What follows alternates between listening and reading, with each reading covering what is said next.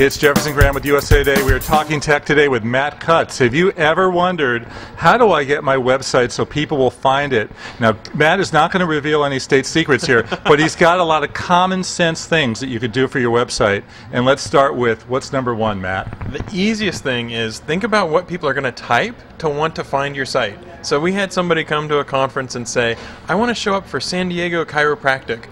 And we said, well, have you put the word San Diego Chiropractic on your page anywhere at all? And he hadn't. And sometimes just very simple stuff like that really helps. Think about what users are going to type to find your page, and then just make sure those keywords are on the page. So, how important are, are adding the tags to your website? Title tags matter because it's what the user, whenever they search on Google, they see that title tag. It's the very first impression they have of your website. So it pays to make sure that it makes sense, that it, in, it says, okay, this is the information I'm going to get, I'm going to like it whenever they click on a web result. And, uh, and also, there's a lot of other meta tags you can use. We say don't worry that much about the keywords tag, but there's one called the description tag.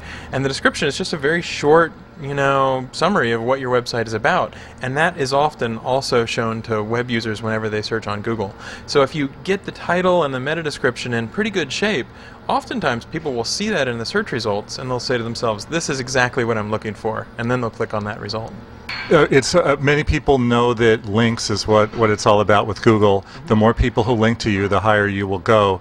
Um, and you can imagine a lot of people out there will say to you, "But Matt, I don't know where I'm going to get any links." Sure. But there are actually many places, aren't there? Oh, there absolutely are. One of the biggest things that I talk about is just starting a blog. And a blog is very simple. It's a weblog. It's a way that you can put posts up on the web and participate in the conversation that's happening out on the web all the time.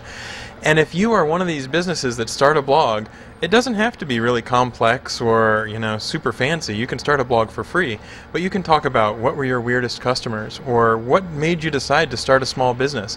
Things that are really interesting to you are probably really interesting to your users as well.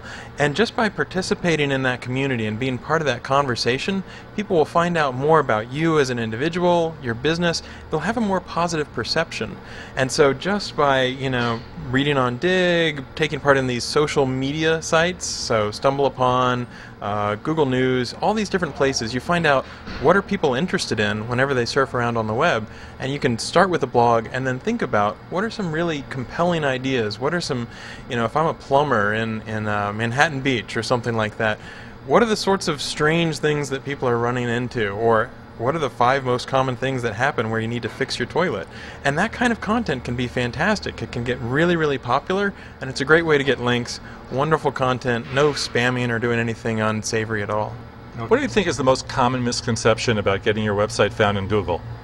One of the biggest misconceptions is that you have to pay Google somehow or that you have to pay someone else who will pay Google. Uh, the fact is that Google crawls all these websites for free and we pick up sites quite quickly. So you don't have to do anything special, you don't have to pay Google a cent. All you have to do is try to make sure that Google can find out about your website and we'll crawl very quickly. Um, one other interesting misconception is that some people think that if you somehow buy advertising on Google, you automatically rank higher or you'll do better in the search results, and nothing could be further from the truth. We call them our editorial search results because we don't want them to be affected by money. And so we try very hard to make sure that, you know, it doesn't matter whether you buy advertising or not buy advertising, we'll try to rank you the same either way. I've seen it written that it could take three to six months to have your, your new website found in Google. Is that truth or fiction? Normally, that's not the case. Uh, Google's very quick about crawling websites. We typically refresh our entire index every month or so, and we can find many websites within days. So, one of the secrets you can do is you can go to google.com slash addurl.html, and that's just a simple place where you can tell Google a single URL, like the root page of your site.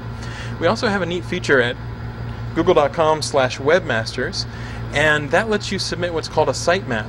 So you can take a text list of all the URLs on your site and you can go to Google and give them that list and that will help us if we want to find out new URLs on your site.